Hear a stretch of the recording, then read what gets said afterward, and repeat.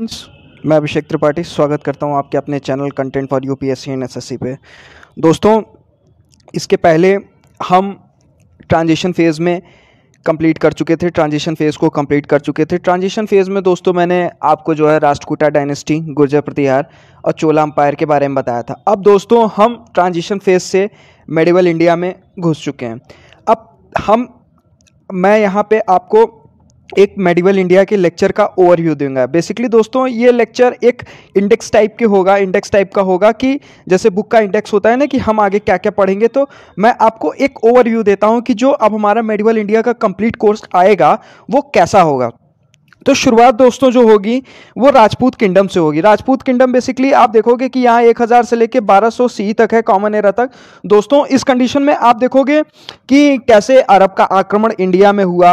अरब का आक्रमण होने के साथ साथ आप देखोगे कि राजा दहिर का जो राज था सिंध वाले रीजन पे, वहाँ पे फिर अरबियों ने कैसे कैप्चर किया, फिर धीरे धीरे वो इंडिया के अंदर कैसे घुसे, फिर गौरी आया, फिर गुजनी आया, मीर कासिम के बाद। फिर आप ये देखोगे, फिर धीरे धीरे आप देखोगे कि दिल्ली सल्तनत, इसके बाद मैं जो लेक्चर लाऊँगा, वो दिल्ली सल्तनत का लाऊँगा। दिल्ली सल्तनत, जो पाँच सल्तनत बनी थी, के स्लेव डायनेस्टी, ममलुक डायनेस्टी भी जिसको कहा जाता है, खिलजी वंश, सैयद वंश, लोधी वंश तो ये मैं लेकर आऊँगा। फिर उसके बाद आपको जो है प्रोविंशियल किंगडम्स के बारे में बताऊँगा। विजयनगर, मालवा, गुजरात, बंगाल बंगाल पे कैसे कैप्चर हुआ, बंगाल पे कैसे लक्ष्मण सेन का राज हुआ करता था, फिर उसको कैसे कैप्चर किया गया।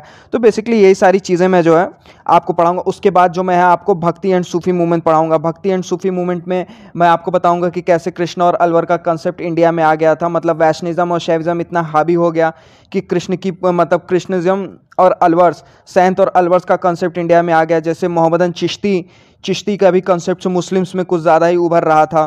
तो आप ये सारी चीज़ें देखोगे और साथ में इसके नीचे लिखा Indo Islamic culture Indo Islamic culture में आप देखोगे कि जैसे मैंने आपको कई बार कहा है कि history is the mother of all subject तो जैसा कि आज आप अपने घर के बाहर नेम प्लेट लगाते हो ना कि फला फला सिंह, फला ये, फला वो तो उसी टाइप का ये इंडो इस्लामिक कल्चर का ही एक कंसेप्ट है कि जैसे आप अपने घर के बाहर एक मार्बल टाइप्स के प्लेट्स पे उसको बाकायदे खूबसूरती से लिखवाओ और फिर वो आपकी नेम प्लेट बन जाती है तो ये चीज़ जो है इंडो इस्लामिक कल्चर की कुछ थोड़ी बहुत निशानियाँ फिर ये देखेंगे। फिर इसके बाद हम आपको जो है मुगल ले आएँगे, मुगल के लेक्चर्स लाऊँगा, फिर मुगल्स के लेक्चर्स में जो है 1526 से लेके 1707 मुगल्स का लेक्चर बेसिकली दोस्तों दो पार्ट्स में डिवाइड करूँगा, एक मुगल्स और दूसरा लेटर मुगल्स। मुगल्स में मैं जो है बाबर से लेके औरंगज़ेब तक की कहानी आपको बताऊँगा।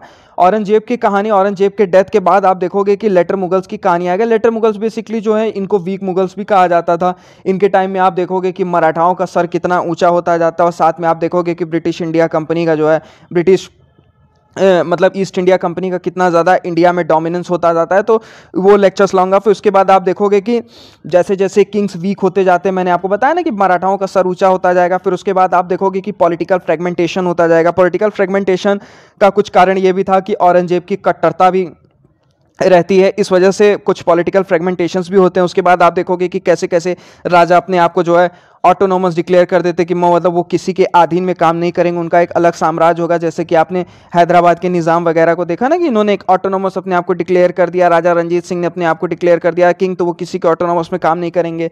उसके बाद आप देखोगे कि स्टार्टिंग ऑफ़ मॉडर्नाइजेशन होगा। Starting of modernisation in the sense मतलब कैसे कह सकते हो कि ब्रिटिश ईस्ट इंडिया मॉडर्नाइजेशन में जैसे इंडिया मॉडर्न की तरफ़ आगे बढ़ेगा, उसके बाद आप देखोगे कि मॉडर्नाइजेशन इन द सेंस मतलब कह सकते हो कि ट्रेड ट्रेड वगैरह में भी काफ़ी ज़्यादा हम मॉडर्नाइज होने लगेंगे। उसके बाद आप देखोगे कि यूरोपियंस की एंट्री होगी। यूरोपियंस की एंट्री के बाद आप देखोगे कि ब्रिटिश कंक्विस्ट ऑफ़ इंडिया मतलब कि प्लासी के युद्ध के बाद आप देखोगे कि कैसे बंगाल, बिहार और उड़ीसा की दीवानी मिलेगी। उड़ीसा की दीवानी मिलने के बाद आप फिर देखोगे कि अठारह सौ सत्तावन का विद्रोह होगा। अठारह सौ सत्तावन के विद्रोह के बाद पूरा ईस्ट इंडिया कंपनी का जो है कैप्चर हो जाएगा। तो दोस्तों, ये एक लेक्चर का ओवरव्यू था, आने वाले लेक्चर का। तो अब बेसिकली अब जो हमारा लेक्चर आएगा, वो राजपूत पे आएगा दोस्तों। तो अगर आपको ये मेरी कई बातें पसंद आ रही हो और अच्छा लग रहा हो तो मेरे किए लेक्चर से अगर आपको एक परसेंट भी फ़ायदा हो रहा हो दोस्तों तो मैं आपसे कोई फ़ीस तो नहीं ले रहा हूँ। तो मेरे इन लेक्चर्स को आप शेयर करिएगा लाइक करिएगा कमेंट करिएगा और मेरे चैनल को सब्सक्राइब करिएगा। तो नमस्कार दोस्तों।